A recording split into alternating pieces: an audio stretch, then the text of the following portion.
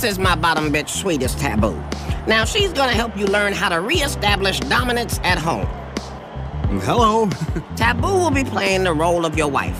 Now, approach Taboo, grab her arm firmly, and command her to leave with you. Okay.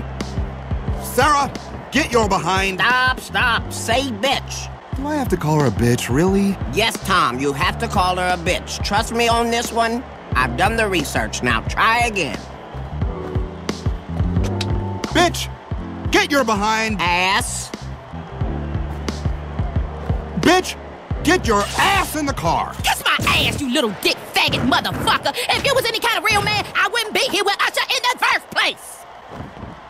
Wait, hold on. I, I don't think that's what Sarah would say. It's now tragically obvious that reasoning with the bitch is not gonna work, Tom. You have to hit her. I'm an assistant district attorney, for Christ's sake. Tom, you have to get past this. It's okay, faggot. Really? See, faggot, she just gave you permission. Ah! You see that? Which has no problem hitting you. All right, lady. Okay. Ah! You're definitely allowed by law to hit her now, Tom. It's self-defense. Okay. Sweetest taboo, you are in rare form.